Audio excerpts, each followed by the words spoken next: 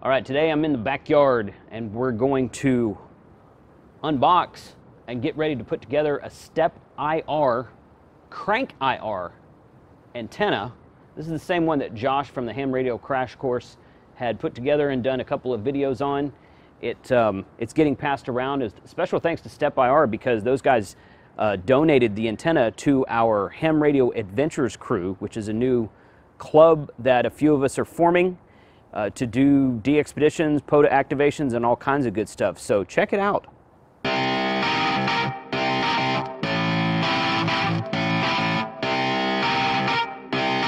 Shut up and sit down. Okay, guys, this is Jason at Ham Radio 2.0. And on this channel, we do reviews, news, and how to's of everything that's new in amateur radio. So today, today we're going to be putting together a Crank IR antenna from Step IR antenna group or whatever it is. Step IR you can see on the bag. If you're going to get a if you're going to get heavy into ham radio and want to get some of the best equipment, Step IR is going to be one of the ones at the top of the list as far as antenna equipment goes. It's not the only great one out there, but it is definitely in the top definitely in the top 10, probably in the top 5 of antennas that you're going to find for um, portable HF and home deployed HF and tower type stuff, stuff that you would put up higher on a tower. So let's take a look at this Crank IR unit today. Okay, so I got two bags here that are, uh, this, these are really nice bags, obviously. Sorry about the camera shake. So this is gonna be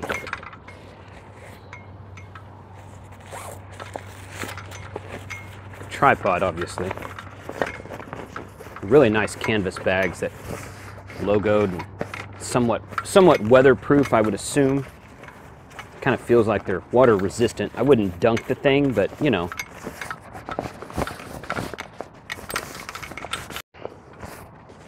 Although an antenna's not gonna an antenna's got to be weatherproof anyway, so it's not like the bag is trying to keep the antenna from getting wet. Um, this would be definitely heavy to take on a SOTA expedition, but for POTA or field day or something, it'd be pretty fun. So we're gonna set this up real quick.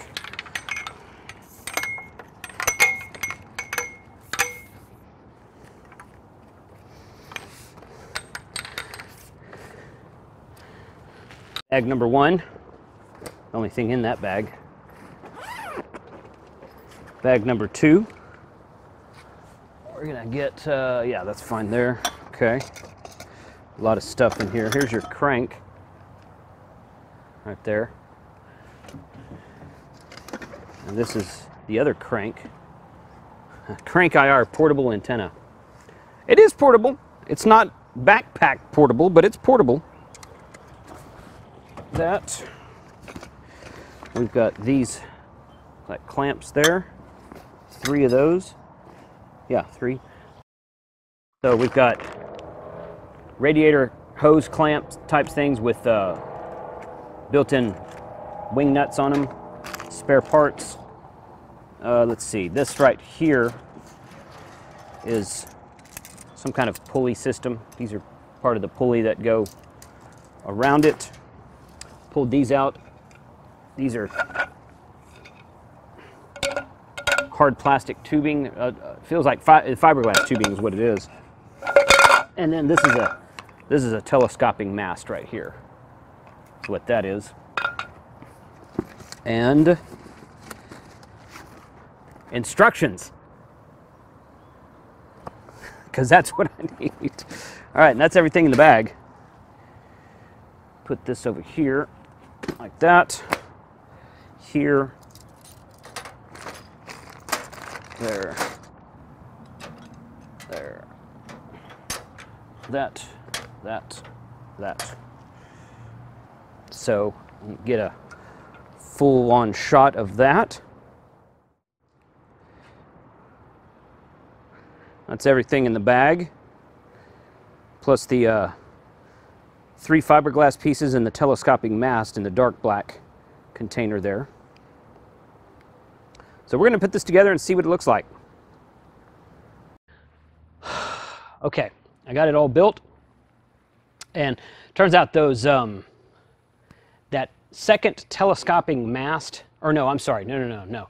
The, the two uh, fixed length fiberglass poles were an extension kit where you can raise the antenna up higher. And then the second crank is an optional tunable, what they call a tunable um, counterpoise or something like that. So it's, it's optional. Uh, so you don't have to put that on. So this is just the basic uh, antenna right here. You can see I've got the uh, zoomed in camera in front of it right there. And get a look at the top here. This is the whole thing. It's about 16 foot tall. Right there. You can see it's got the, the downward U shape when you've got it cranked down.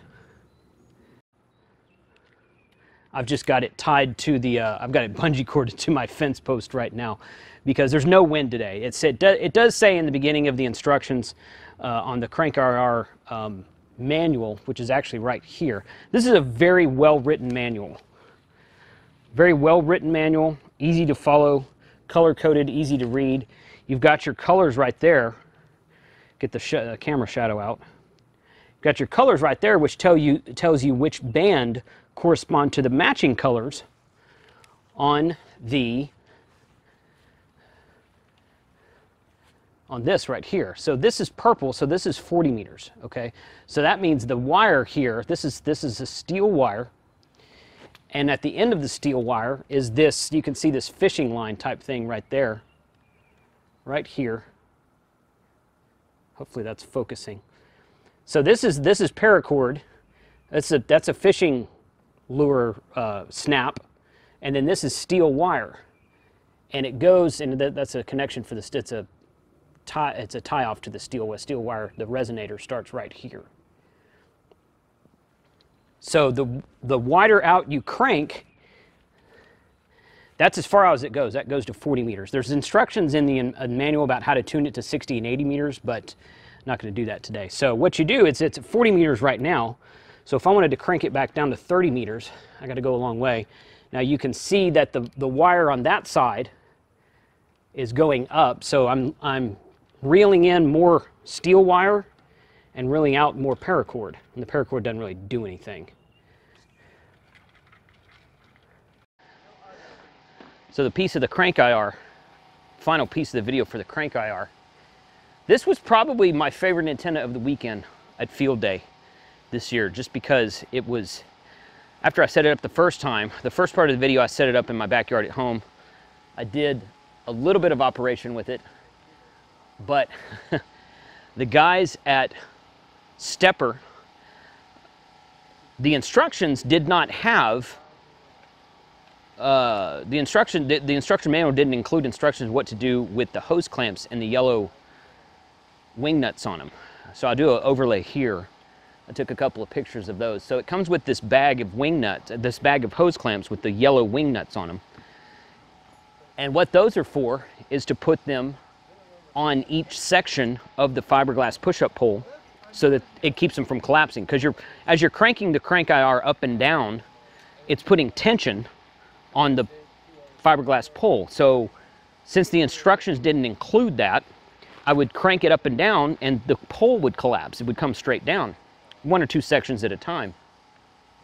So I emailed the guys at Step IR and I said, uh, hey, uh, what's, what's the deal with this? And the guy, Jeff, uh, the, Jeff, who's the, the one from Stepper that donated or lent, uh, lent us this antenna. He didn't donate it, he, he let us borrow it to use.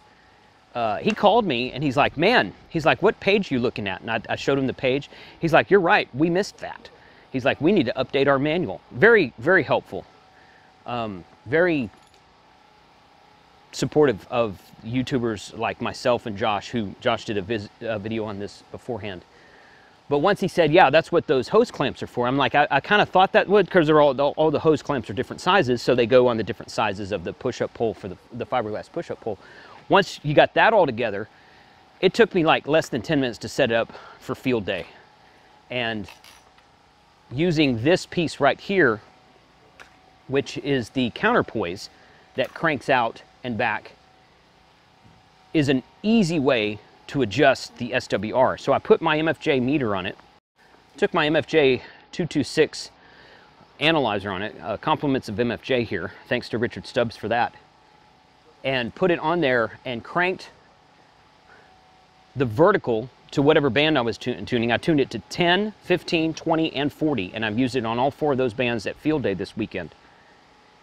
And once I cranked it up, the SWR was somewhere around maybe two, two and a half, maybe three, not quite that high.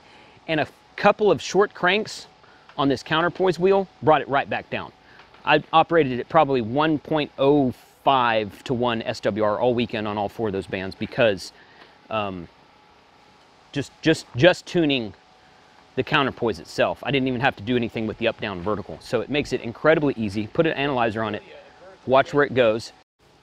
But it made it very easy to tune the antenna after you put the small piece, the color-coded piece where the vertical should be for whatever band you're tuning to, and then just tune it with the, uh, with the crank on the counterpoise wheel, half a turn to one and a half turns and it was done. It was right there and it was boom, tuned in, put it on the, the unit. I used it on my Flex radio several times this weekend to do FT8 on all four of those bands and it worked very well. So thank you to Step IR. Thank you to Jeff out there. Thanks for the support.